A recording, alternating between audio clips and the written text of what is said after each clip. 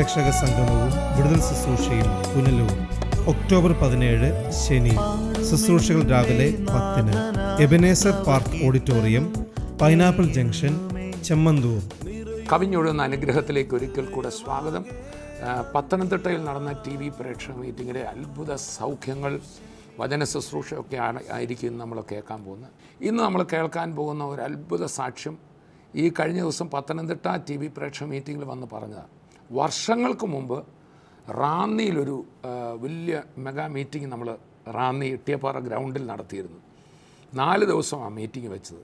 പക്ഷേ ഭയങ്കര മഴയായിരുന്നു. മഴയത്തും രോഗസൗഖ്യവും വിടുതലുകളും നടന്നപ്പം നാട്ടുകാർ പറഞ്ഞു മീറ്റിംഗ് നിർത്തരുത് നീട്ടണം. നാല് ദിവസത്തെ മീറ്റിംഗ് വീണ്ടും മൂന്ന് ദിവസം കൂടെ നീട്ടി. ആ മീറ്റിങ്ങിൽ ഒരത്ഭുത സൗഖ്യം വർഷങ്ങൾക്ക് മുമ്പ് നടന്നു. ഉറക്കമില്ലാതെ കഷ്ടപ്പെട്ട ഒരു വ്യക്തിയെ കർത്താവ് വിടുവിച്ചു. ആ അത്ഭുത വിടുതൽ മറ്റനേക സാക്ഷ്യങ്ങൾ നമ്മളിന്ന് കേൾക്കും ദൈവജന ശുശ്രൂഷയിലേക്ക് കടക്കും. നമുക്ക് പത്തനംതിട്ടയിൽ നടന്ന ടി വി പ്രേക്ഷക മീറ്റിങ്ങിലേക്ക് പോകാം. യഹൂദ ഗോത്രത്തിന്റെ രാജസിംഹം തന്റെ അകത്തുള്ള ആത്മാവിനെ തന്റെ അകത്തുള്ള വചനത്തെ തന്റെ പവറിനെ തന്റെ മക്കളുടെ മേൽ ആവസിപ്പിച്ച് ഇനി വിഷയങ്ങളൊന്നും നിന്നെ തൊടത്തില്ല. ക്രിസ്തുവിലുള്ള വിശ്വാസത്താൽ പരിശുദ്ധാത്മാവിന്റെ ശക്തിയാൽ വചനത്തിലുള്ള ബലത്താൽ ഒരു വ്യക്തിക്ക് ഈ ലോകത്തിൽ ജയകരമായ ജീവിതവും മാത്രമല്ല ഈ ലോകം കൊണ്ട് തീരുന്നല്ല മനുഷ്യന്റെ അസ്തിത്വം വരുവാനുള്ളതിൽ നിത്യ സന്തോഷത്തിൽ നിത്യ സ്വർഗത്തിൽ പിതാവിനോടൊപ്പം വാഴ്ചയും. ഇതാണ് ഈ കവിഞ്ഞൊഴുകുന്ന അനുഗ്രഹത്തിലേക്ക് എന്ന ടി വി പ്രോഗ്രാമിന്റെ ബേസിക് സന്ദേശം. ചേർന്ന് കർത്താവിനെ സ്തുതിക്കാം. ഈ സന്ദേശം ലോകം മുഴുവൻ അറിയണം എന്നുള്ളത് ദൈവത്തിന്റെ പദ്ധതിയാണ് ഹെവൻലി ഫീസ്റ്റിന്റെയോ ഒരു പ്രത്യേക സഭയുടെയോ പദ്ധതിയല്ല. യേശു പറഞ്ഞു ഈ സുവിശേഷം ലോകത്തിന്റെ അറ്റത്തോളം പ്രസംഗിക്കപ്പെടും. പ്രസംഗിക്കപ്പെടാവോ എന്ന് ഞാൻ നോക്കുമെന്നല്ല പിന്നെ. പ്രസംഗിക്കപ്പെടും. അപ്പോൾ അവസാനം വരും. ഈ ലോകത്തിനൊരു അവസാനമുണ്ട്. യേശു വരും. തന്നിൽ വിശ്വസിച്ചവരെ ചേർക്കാൻ രാജാധി രാജാവായി. നമ്മുടെ കർത്താവ് മേഘാരൂഢനായി വേഗം വരുന്നതിനായി ഞാൻ കർത്താവിനെ സ്തുതിക്കുക. ആ വരവിന് മുമ്പ് എന്തൊക്കെ നടക്കുമെന്ന് യേശുവും അപ്പോസലന്മാരും പറഞ്ഞോ പ്രവാചകന്മാർ പറഞ്ഞോ അത് മുഴുവൻ നമ്മുടെ കൺമുന്നിൽ അക്ഷരാർത്ഥത്തിൽ നിവർത്തിയാകുമ്പോൾ ലോകത്തിലെ ഭീകര സംഭവങ്ങൾ കേൾക്കുമ്പോൾ ലോകമനുഷ്യർക്ക് നിരാശയും പരിഭ്രമവുമാണ് എന്നാൽ ദൈവവചനം പറയുന്നു ദൈവമക്കൾക്ക് ഈ പ്രതിസന്ധി കാണുമ്പോൾ പരിഭ്രമമല്ല ഞങ്ങളുടെ നാഥന്റെ വരം അടുത്തല്ലോ.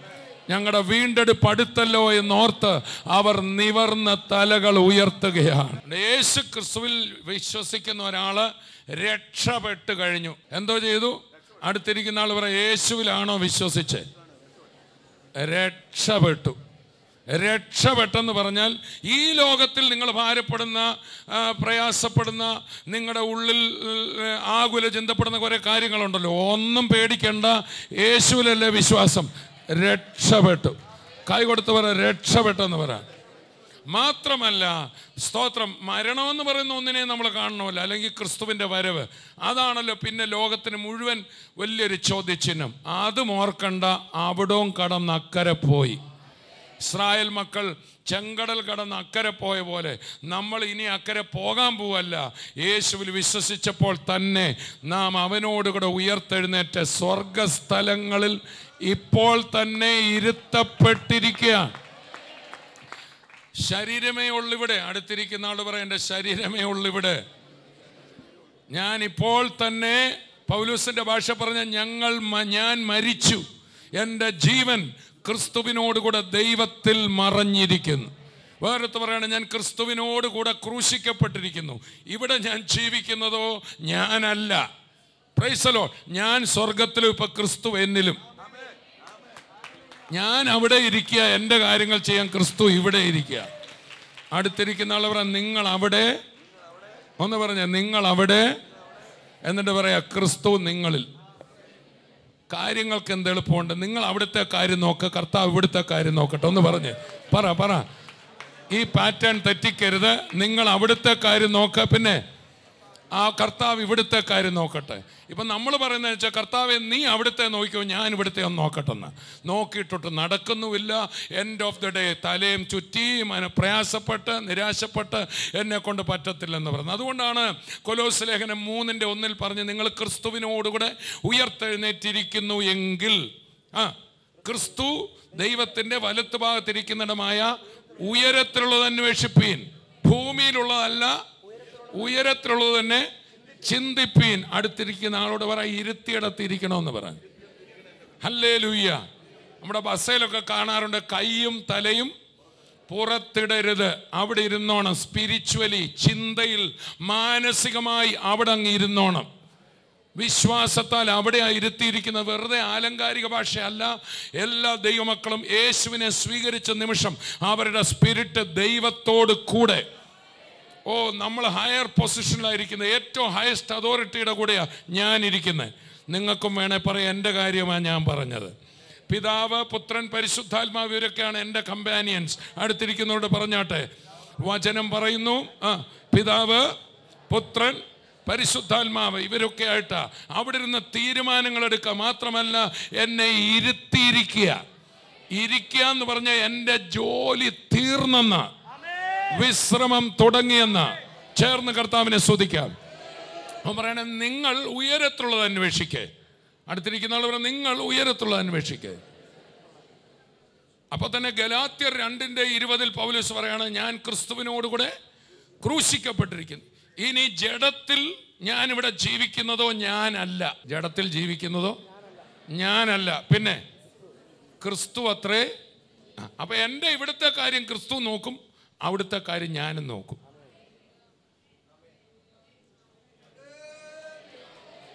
അവിടെ പാട്ടുമൊക്കെ പാടിയിരിക്കുക. ചിലർ ഈ പാടാത്ത എന്താണെന്നറിയോ? മുഖമൊക്കെ ഭാരപ്പെട്ടിരിക്കുന്ന ഇവർ ഭൂമിയില്ല ചിലരെന്തോ പ്രതിസന്ധി ഉണ്ടെങ്കിലും അതിനകത്ത് പാട്ട് പാടുന്ന കാണാം. അവരെവിടാ? സ്വർഗത്തില കൈവിടുത്തവർ ഇരട്ടിയടത്തിരിക്കണമെന്ന് പറയാം. ഇത് നമ്മുടെ മൊത്തം കാര്യങ്ങൾ നമ്മളങ്ങ് ഇടപെട്ടാൽ പിന്നെ കർത്താവ് എങ്ങനെ ഇടപെടുന്നത് കർത്താവെ ചില ചില പ്രാർത്ഥിക്കും. പ്രാർത്ഥിക്കുന്ന എന്തിനാണെന്നറിയോ കർത്താവ് ഇടപെടാനല്ല ഒരു മനസമാധാനത്തിന്. എന്റെ കർത്താവേ വിഷയമാണ് ഇന്ന് അതാണ് ഇതാണ് എന്നെല്ലാം പറയും. എന്നിട്ട് ഇവർ തന്നെ അതിനകത്ത് ഓടി നടക്കുക. അതായത് നമ്മളൊരു ഓഫീസിൽ ഒരാളുടെ കയ്യിൽ ഒരു ഫയൽ കൊടുത്തിട്ട് ആ പിന്നെ നമ്മൾ ആ അവിടുത്തെ ഉദ്യോഗസ്ഥൻ പറഞ്ഞു സാറ് പറഞ്ഞു എല്ലാം ഞാൻ ചെയ്തോളാം. ധൈര്യമായിട്ട് പൊക്കോ. പിന്നെ നമ്മൾ വൈകുന്നേരം ആയപ്പം പുള്ളി കാണാതെ ആ ഓഫീസിൽ കയറി ഫയലെല്ലാം എടുത്ത് നോക്കിയാലോ? പറഞ്ഞേ. അങ്ങനെ ആരെങ്കിലും ചെയ്യുമോ ഇല്ല. ആ ആൾ പറഞ്ഞു ഞാൻ നോക്കിക്കോളാം പിന്നെ നമ്മൾ എന്ത് ചെയ്യണം? ഇങ്ങോട്ട് പോരണം. ഇന്നാൾ നമ്മുടെ മുഖ്യമന്ത്രിയുടെ ഓഫീസിൽ ഒരു ഒരു മാനസിക അസ്വാസ്ഥ്യമുള്ള ഒരാൾ കയറി. ആരും അറിഞ്ഞില്ല. പുള്ളി നോക്കിയപ്പോൾ മുഖ്യമന്ത്രിയുടെ കസേരയിലൊക്കെ ഇരുന്ന് ഫയലൊക്കെ നോക്കുക. ഈ കർത്താവിനെ ഏൽപ്പിച്ച കാര്യത്തിൽ പിന്നെയും വിചാരപ്പെടുന്നവർ ഇതുപോലെ. ഹലോ. കർത്താവിനെ ഏൽപ്പിച്ച ഫയൽ പിന്നെയും വിചാരപ്പെടുന്നത് മുഖ്യമന്ത്രിയുടെ ഓഫീസിൽ കയറിയ മനോരോഗിയെ പോലെയാ. ഹലോ. അതുകൊണ്ട് അങ്ങോട്ട് ഏൽപ്പിക്കുക സ്വസ്ഥനാകുക. അതാണ് ഫിലിപ്പ്യ ലേഖനം. നാലിൽ ജയിലിൽ കിടക്കുന്ന പൗലൂസ് പറയാ സന്തോഷിപ്പീൻ. എവിടാ പുള്ളി കിടക്കുന്നത് ഒന്ന് പറഞ്ഞേ. ചുമ്മാ സന്തോഷിപ്പീൻ. ആളെവിടെ ഇരിക്കുക പറഞ്ഞേ. എഫ് എസ് ലേഖനം എവിടെ പറയും നമ്മളെ സ്വർഗസ്ഥലങ്ങളിൽ അതെങ്ങനെ പൗലൂസ് നിങ്ങൾ ജയിലിൽ കിടക്കുകയല്ലേ? എഫ് എസ് ലേഖനം എവിടെ നിന്ന് എഴുതിയതാ ഞാൻ ജയിലിലാന്ന് നിങ്ങൾക്ക് തോന്നുക. ഞാൻ സ്വർഗസ്ഥലങ്ങളിൽ ഇരിക്കുക. ഞാൻ സ്വർഗസ്ഥലങ്ങളിൽ ഇരിക്കുക. ഫിലിപ്പിയരോട് പറയാം നിങ്ങൾ ഒത്തിരി പ്രതിസന്ധിയിലൂടെ പോവുക അല്ലേ? സന്തോഷിപ്പീൻ. കണ്ടില്ലേ ഞാനിവിടെ ജയിലിൽ കിടന്നുകൊണ്ട് എന്ത് ചെയ്യുക സന്തോഷിക്കുക. ഒന്നിനെക്കുറിച്ചും വിചാരപ്പെടരുത്. നിങ്ങളുടെ ആവശ്യങ്ങൾ സ്തോത്രത്തോടെ കർത്താവിനെ അറിയിക്കുക എന്ന് പറഞ്ഞാൽ നിങ്ങൾ ആ കൂടെയല്ലേ ഇരിക്കുന്നത് ഉയരത്തിലല്ലേ ഇരിക്കുന്നത് അങ്ങോട്ട് പറഞ്ഞാൽ മതി. അപ്പോൾ സകല ബുദ്ധിയെയും കവിയുന്ന ദൈവസമാധാനം. അപ്പോൾ പ്രശ്നക്കാരൻ ബുദ്ധി ആകട്ടോ. കവിയണം ബുദ്ധിയെ കവിയുന്ന ഒരു സമാധാനം പ്രാർത്ഥിക്കുന്ന വ്യക്തിയുടെ ഉള്ളിലുണ്ട്. പ്രാർത്ഥിച്ചാൽ പോരാ പ്രാർത്ഥിച്ച് കാര്യം അങ്ങോട്ട് കൊടുക്കണം. ചിലർ പ്രാർത്ഥനയെ ഒരു കർമ്മമാക്കി. അവരെന്ത് ചെയ്യുന്നറിയാം പിന്നെയും പിന്നെയും പ്രാർത്ഥിക്കും. ടി വി കാണുന്ന എല്ലാ ദൈവദാസന്മാരെയും വിളിച്ചെന്ത് ചെയ്യും?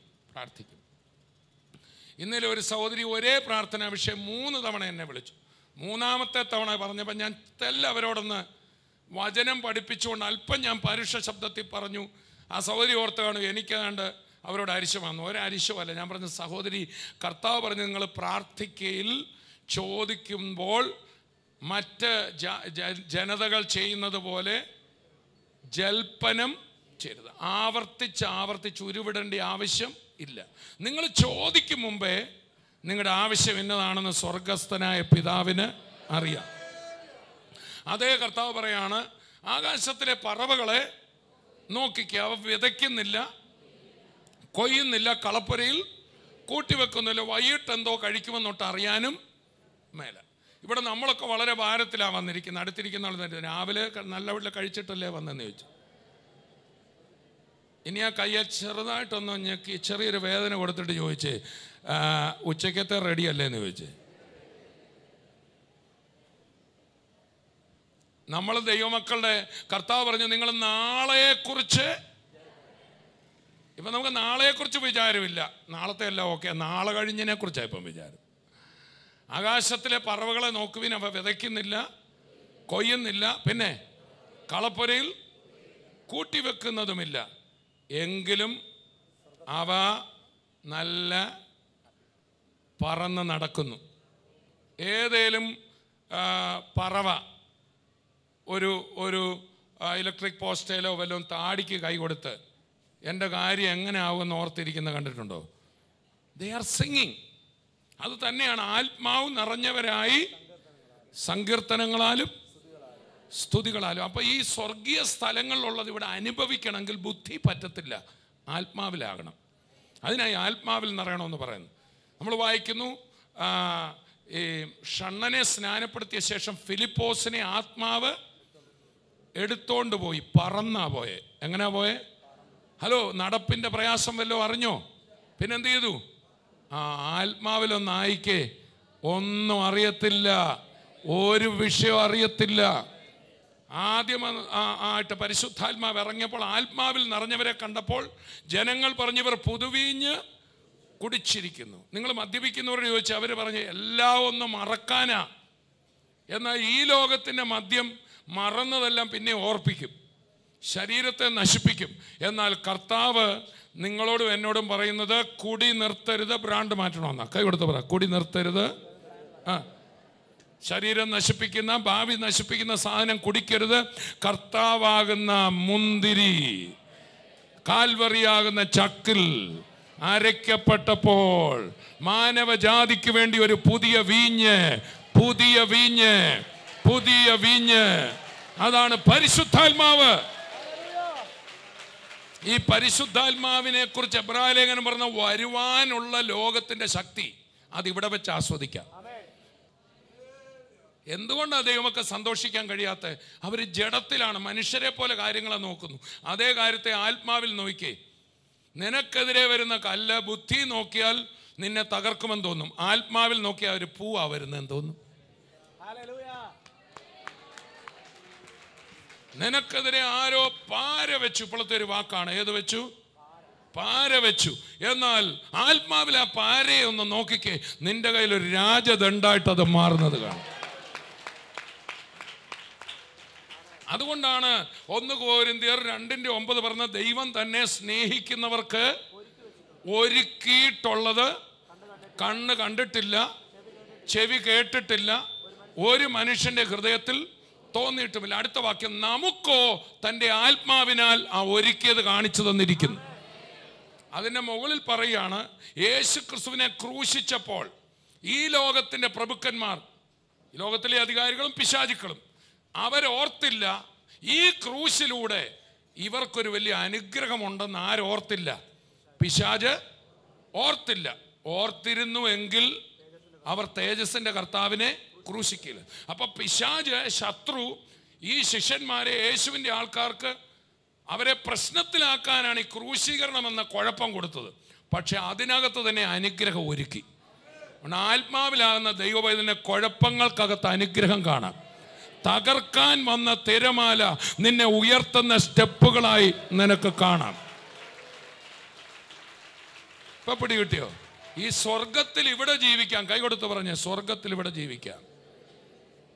സ്വർഗത്തിന്റെ ഒരു ഭാഗം മുറിച്ച് ഈ ലോകത്ത് കൊണ്ടുവന്ന് അതിനകത്ത് അങ്ങ് ജീവിച്ചോണം.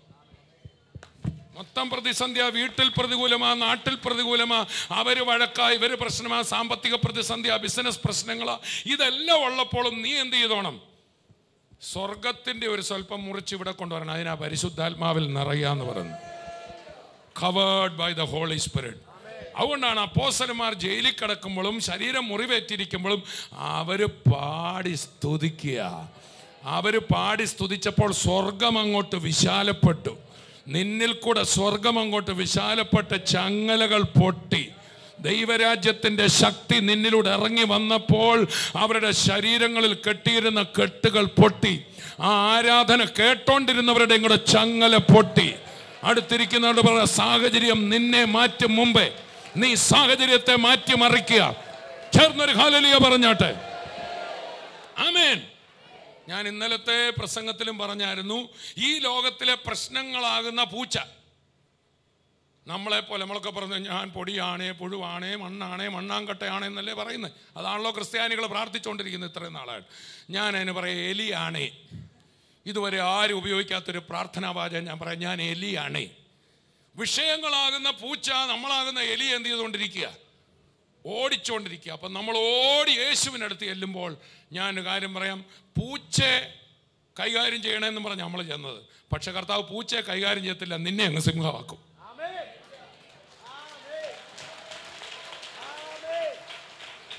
അടുത്തിരിക്കുന്ന ആൾ പറയാം നിന്നെ നിന്റെ പ്രശ്നങ്ങളല്ല മാറ്റിത്തരുന്ന നിന്നെ ആൾ മാറ്റുകയാ. ഒരുവൻ ക്രിസ്തുവിലായാൽ അവൻ പുതിയ സൃഷ്ടിയ. ഓ കരം അടിച്ചു കർത്താവിനെ സ്തുതിക്കാം അടുത്തിരിക്കുന്ന ആളോട് പറയാം എലി പോലിരുന്ന നീപ്പം പുലി പോലായല്ലോ. ആഹാ അതാണ് യേശു കർത്താവ് ചെയ്യുന്നത്. യഹൂദ ഗോത്രത്തിന്റെ രാജസിംഹം തന്റെ അകത്തുള്ള ആത്മാവിനെ തന്റെ അകത്തുള്ള വചനത്തെ തന്റെ പവറിനെ തന്റെ മക്കളുടെ മേൽ ആവസിപ്പിച്ച് ഇനി വിഷയങ്ങളൊന്നും നിന്നെ തൊടത്തില്ല. നിന്നെ കണ്ട് വിഷയങ്ങളോടും കരങ്ങൾ തട്ടി വായ് തുറന്ന് കർത്താവിനെ ആർപ്പോടെ ഒന്ന് സ്തുതിച്ച് ചേർന്നൊരു ഹാലലിയ പറഞ്ഞ്. യേശുവേ നാമം വിളിച്ചേ വിളിച്ചോണ്ടിരിക്കുമ്പോൾ കൈ ഉയർത്താൻ മേലെ കൈ ഉയർത്തിക്കോണം. കുനിയാൻ മേലെ കുനിഞ്ഞോണം. എന്റെ പേര് ലിസി ഞാൻ കോന്നി ചർച്ചയിൽ നിന്നാണ് വരുന്നത് എനിക്ക് രണ്ടായിരത്തി നാലിലെ എന്റെ രണ്ടാമത്തെ മോൾ ജനിച്ചു കഴിഞ്ഞപ്പോൾ തുടങ്ങി. എനിക്ക് ഉറക്കമില്ലായിരുന്നു. ഉണ്ട് ഉണ്ട്. ഇരിക്കുന്നു വെള്ള ടീഷർട്ട്. മോൾ ഉറണ്ടായി കഴിഞ്ഞപ്പം തുടങ്ങി ഉറക്കമില്ല. പിന്നെ രാത്രി ഞാൻ കഥകിന്റെ അവിടെ പോയിരിക്കും. എനിക്ക് ഭയമാണ് എന്തെങ്കിലും അനക്കം കേട്ട് കഴിഞ്ഞാൽ പിന്നെ എനിക്ക് ഉറക്കം വരത്തില്ല. അപ്പോൾ എന്റെ മൂത്ത മോൾ പറയും മമ്മിക്ക് സെക്യൂരിറ്റിയുടെ ജോലിയാണ് രാത്രിയില്ലെന്ന് പറയും. രാത്രിയിൽ ഉറക്കമില്ല പകലും ഉറക്കമില്ല. അങ്ങനെ ഞാൻ പ്രൈവറ്റ് ഹോസ്പിറ്റലിൽ കൊണ്ട് കാണിച്ചപ്പോൾ അവരെനിക്ക് കാമ്പോസിന്റെ ഗുളിക തന്നു ഉറങ്ങാൻ വേണ്ടിയിട്ട് അത് കഴിച്ചാൽ പോലും ഞാൻ രാത്രിയിൽ ഉറങ്ങത്തില്ല പകലും ഉറങ്ങത്തില്ല. രണ്ടായിരത്തി ആറിൽ എന്റെ അനിയൻ എന്നോട് പറഞ്ഞു അമ്മമ്മ ഇതുപോലെ റാന്നിയിൽ ഒരു ക്രൂസൈഡ് നടക്കുന്നുണ്ട്. അമ്മമ്മ ഒന്ന് പോയി നോക്ക്. അനിയൻ എന്നോട് പറഞ്ഞ നിമിത്തം ഞാൻ അവിടെ പോയി. അവിടെ വന്ന് ഞങ്ങൾ വന്ന് കയറുന്ന സമയത്ത് തോമസ് കുട്ടിയോടും തങ്കു ബ്രദറും കൂടെ ഒന്ന് രോഗികൾക്ക് വേണ്ടി പ്രാർത്ഥിക്കുക. ഈ രോഗികളായിട്ട് ആരെങ്കിലും ഉണ്ടെങ്കിൽ എഴുന്നേക്കാൻ പറഞ്ഞു ആ സമയത്ത് ഞാൻ ചാടി എഴുന്നേറ്റു. അന്ന് ഞാൻ ഉറങ്ങാൻ തുടങ്ങിയത്. ഇന്ന് വരെ എന്റെ ഉറക്കം കത്താവൊക്കെ എടുത്തിട്ടില്ല. ഇന്ന് സുഖമായിട്ട് ഉറങ്ങി എനിക്ക് കട്ടിൽ കിട്ടിയാൽ മതി. എത്ര നാൾ ഈ ഉറക്ക പ്രശ്നം ഉണ്ടായിരുന്നു? രണ്ടായിരത്തി നാല് തുടങ്ങി ആറ് വരെ ഉണ്ടായിരുന്നു. ആറിലാണ് എനിക്ക് സൗഖ്യം കിട്ടുന്നത്. അത് കഴിഞ്ഞ് പിന്നെ ഇന്ന് വരെ ഒരു പത്ത് വർഷമായിട്ട് ഒരു കുഴപ്പമില്ല. കുഴപ്പമില്ല. കാരമടിച്ചു കർത്താവിനെ. അതുപോലെ രണ്ടായിരത്തി പതിനൊന്നിൽ എനിക്ക് ഹെപ്പറ്റൈറ്റിസ് ബി പിടിച്ചു. എങ്ങനെയാണെന്ന് എനിക്കറിയത്തില്ല. പക്ഷേ എനിക്ക് അസ്ഥികൾക്കെല്ലാം ഭയങ്കര വേദനയായിരുന്നു. ഇവിടെ പ്രൈവറ്റ് ഹോസ്പിറ്റലിൽ കൊണ്ട് കാണിച്ച് പതിനേഴ് ദിവസം എനിക്ക് സന്ധിവാദം എന്ന് പറഞ്ഞ് അവർ ചികിത്സിച്ചുകൊണ്ടിരുന്നു പക്ഷേ ബി ഈ മഞ്ഞപ്പിത്തം ശരീരത്തെ എന്റെ ശരീരത്ത് പോലും അറിയത്തില്ല യൂറിനിൽ അറിയത്തില്ല കണ്ണിൽ അറിയത്തില്ല ഒന്നും അറിയത്തില്ല. അവസാനം എനിക്ക് ഒരു പാത്രം പോലും എന്റെ കൈ കൊണ്ട് എടുക്കാൻ വയ്യ. എന്റെ വലിയ മോൾ എന്നെ പൊക്കിയെടുത്ത് ഹോസ്പിറ്റലിൽ കൊണ്ടുപോകുന്നത് ആ സമയത്ത് പുഷ്പഗിരി ചെന്ന് കഴിഞ്ഞപ്പോൾ അഞ്ച് ഡോക്ടർമാർ അഞ്ചാമത്തെ ഡോക്ടറാണ് വന്നതിന്റെ അസുഖം കണ്ടുപിടിക്കുന്നത് അവിടുന്ന് അപ്പോഴത്തേക്ക് ഇരുപത്തി എട്ടിലായി ഹെപ്പറ്റൈറ്റിസ് ബി. അവിടുന്ന് എന്റെ കർത്താവിനെ പൂർണ ആരോഗ്യത്തോടെ പൂർണ സൗഖ്യത്തോടെ ഇതുവരെ എന്റെ കർത്താവ് നിർത്തി. ഒരു കുഴപ്പവും ഇല്ല എന്റെ യേശു എന്നെ വിടുവിച്ച്. ഞാൻ പ്ര- പ്രാർത്ഥിക്കുമായിരുന്നു അന്ന് ഞാൻ ഉറച്ച് വിശ്വസിച്ചു എന്റെ കർത്താവ് എന്റെ കൂടെ ഉള്ളതുകൊണ്ട് എന്റെ ജീവൻ ഒന്നും സംഭവിക്കത്തില്ല എന്ന് ഞാൻ പൂർണമായിട്ട് എല്ലാവരോടും എപ്പോഴും പറയുമായിരുന്നു.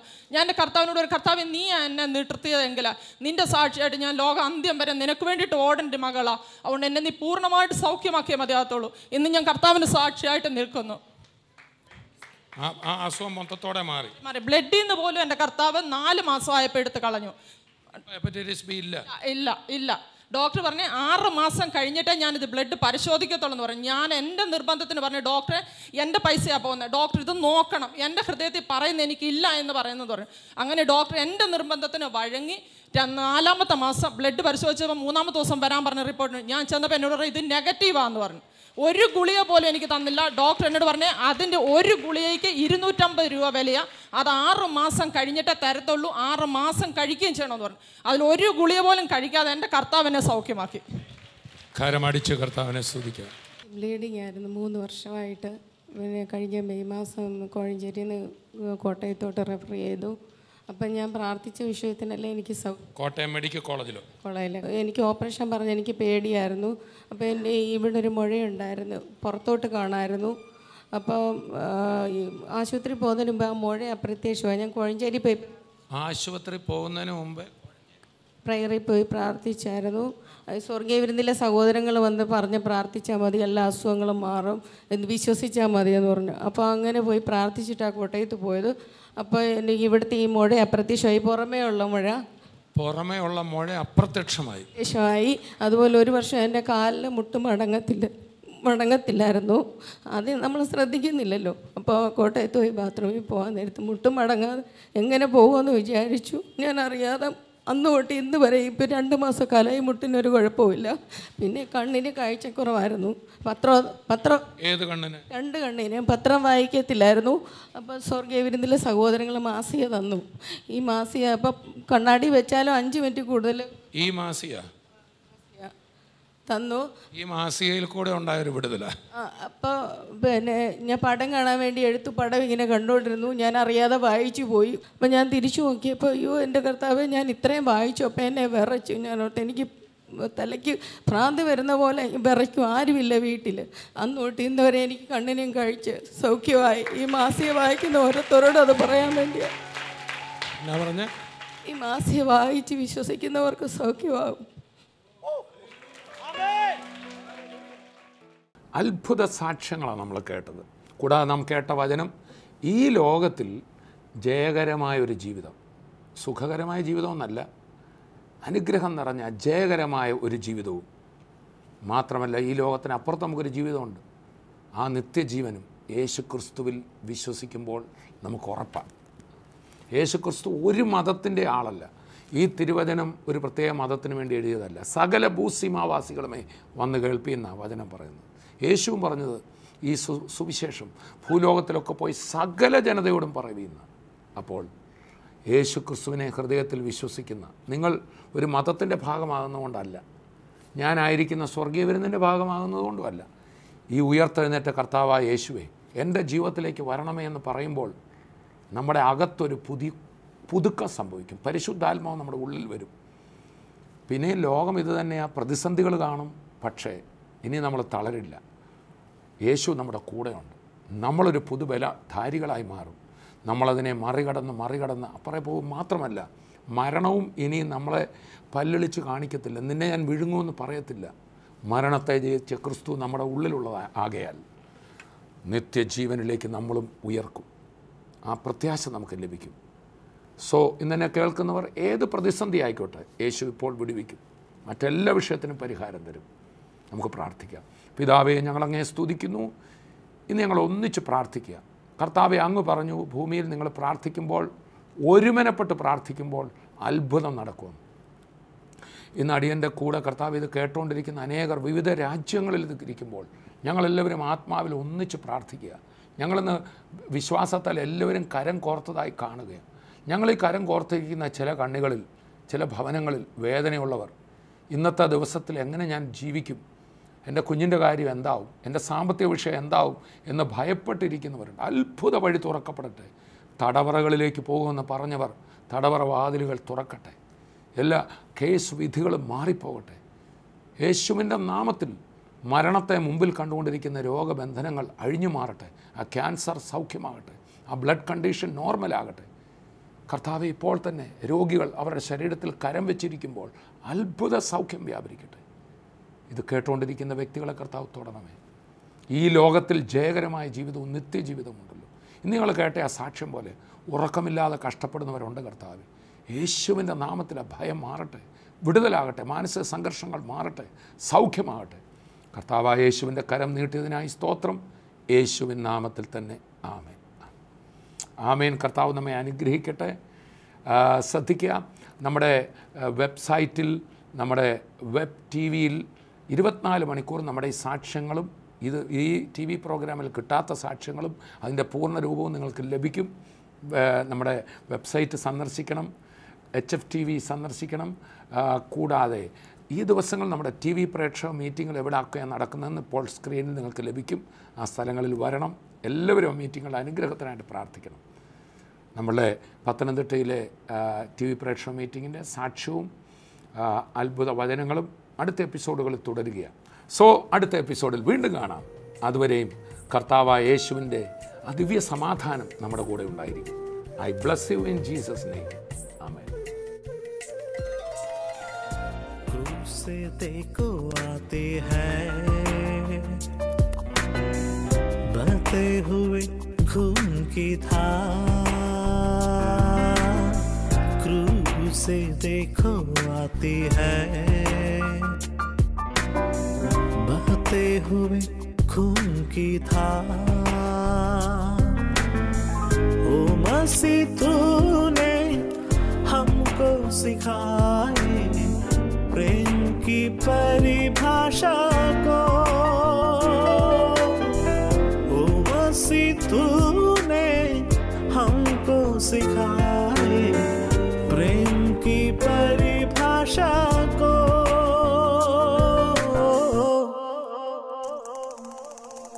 प्रेम का सागर है तू। चांदी का राजकुमार है तू। चरणों में आकर हाथ उठाकर करते हैं तेरे